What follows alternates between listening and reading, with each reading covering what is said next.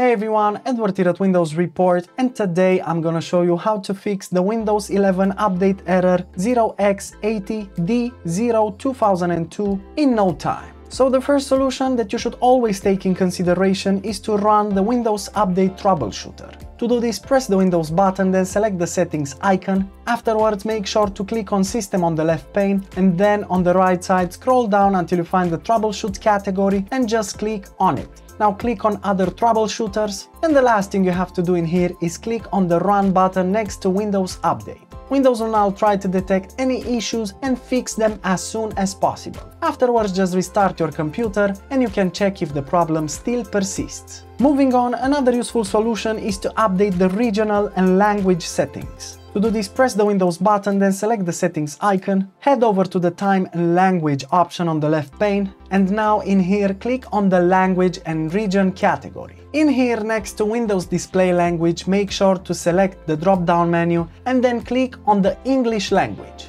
Next, under preferred languages, make sure to add a language of your choosing. And now under the region category, make sure to click on the drop-down menu and select United Kingdom, for example, as this can help. Now you can just restart your computer and then check if the problem still persists. And lastly, another useful solution is to reset the Windows Update component. To do this, press the Windows button, then simply type cmd, then run command prompt as an administrator.